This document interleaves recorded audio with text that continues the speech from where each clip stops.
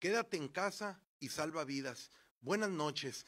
Te agradezco que nos sigas todos los días a las 8.30 de la noche. Para nosotros es importante darte a conocer absolutamente todo lo que sucede sobre el COVID-19. El resumen técnico que te presento todos los días incluye la información diaria que nos envía el IMSS, el ISTE, ISTESON, SEDENA, CEMAR, hospitales privados y la propia Secretaría de Salud del Gobierno del Estado de Sonora.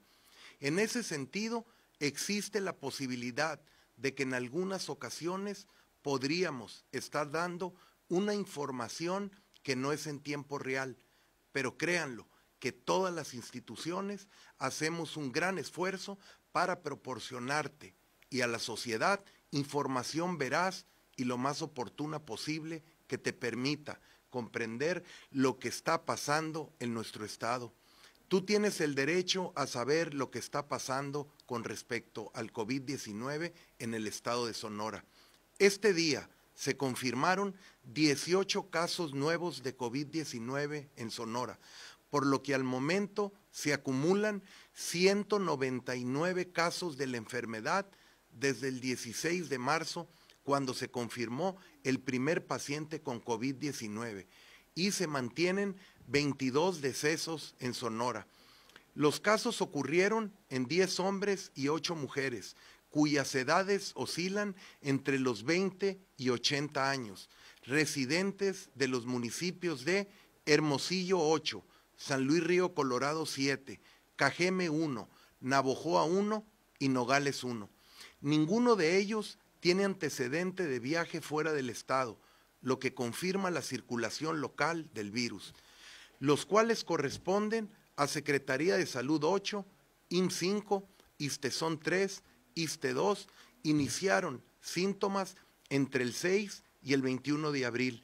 Dos de estos se encuentran hospitalizados y uno con ventilación mecánica invasiva. 16 son casos moderados de COVID-19 y se encuentran en aislamiento domiciliario.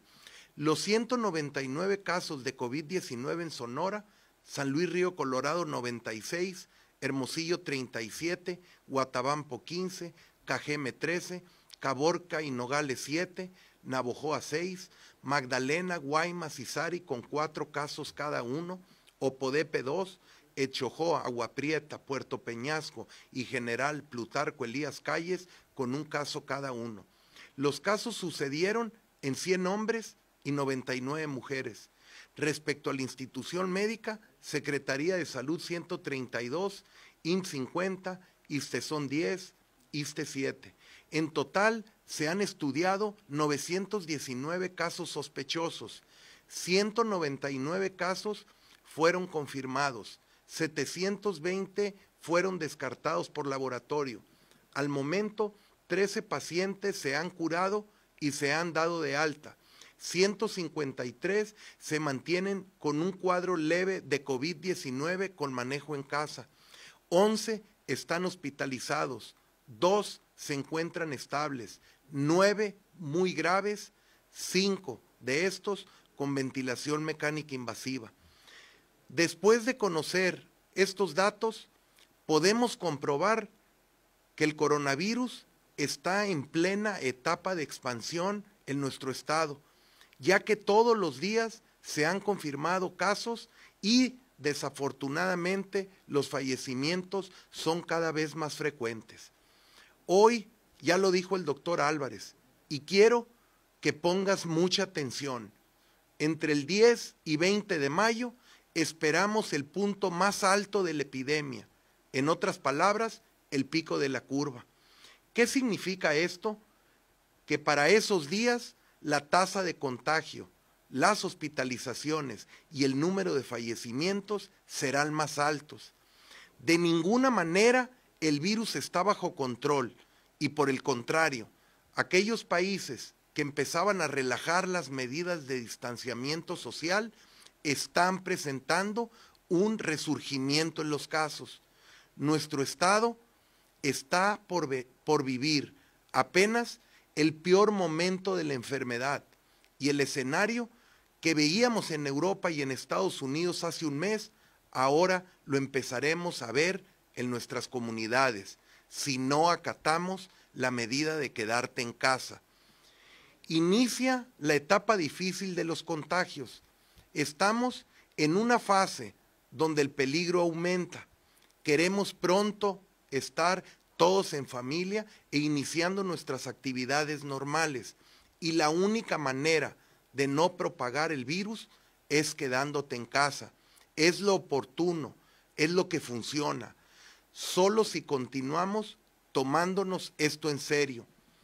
Sé que en estos días extrañamos a nuestros familiares, a nuestros amigos y pueden ser días difíciles para las familias, pero es de suma importancia que todos los días agradezcas por esa oportunidad que tienes de quedarte en casa.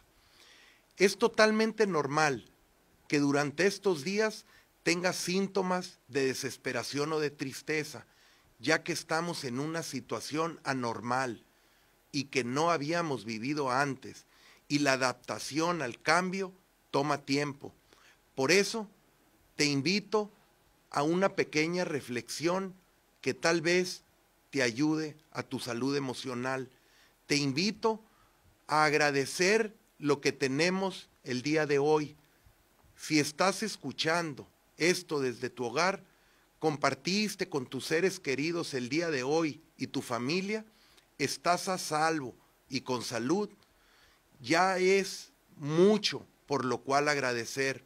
Por más difícil que sea la situación todos los días, recuerda que siempre tenemos algo de qué agradecer.